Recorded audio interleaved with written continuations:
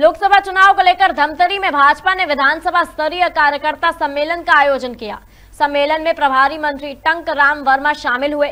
साथ ही महासुमंद लोकसभा प्रभारी मोतीलाल साहू, सांसद चुन्नी लाल साहू, पंडरिया विधायक भावना बोहरा सहित भाजपा के सभी नेता और कार्यकर्ता उपस्थित रहे।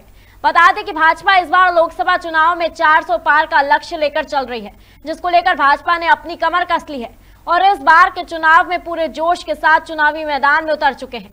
चुनाव में जीत को लेकर भाजपा ने कार्यकर्ताओं और पदाधिकारियों की बैठक लेकर रणनीति बनाई। धमतरी से वैभव चौधरी की रिपोर्ट।